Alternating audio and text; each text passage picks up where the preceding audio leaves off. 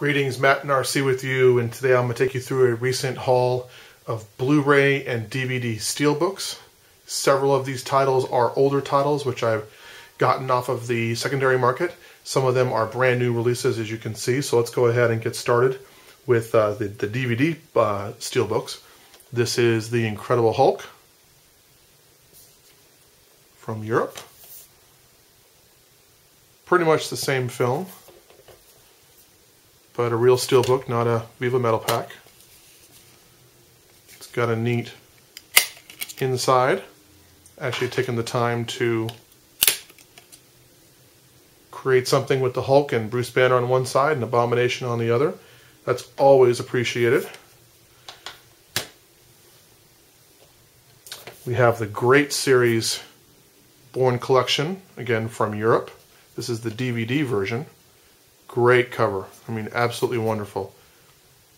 American companies, please give us steel books and give us steel books with cool inside covers, please. Great one there.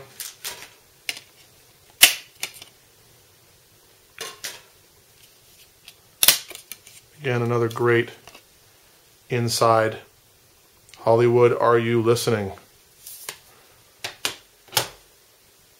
We also have some other one here. This is the, the original Hulk. This one was effed up in transit, so you can kind of see how badly bent that is. But again, three disc set, no internal here, no internal artwork here. Again, off the secondary market, I got Ratatouille. Pretty much the same as the American version. This, I think, is the uh, the, the, original Best Buy uh, steel books that came out a few years ago. More recent pickup from Europe from HMV is Drive, Ryan Gosling. Again, real steelbook. And then the absolutely awesome Tinker Tailor Soldier Spy. Again from HMV. This is a steelbook as well. Do not know how this film got missed off the best movie list, but I absolutely recommend you pick it up if you like spy movies.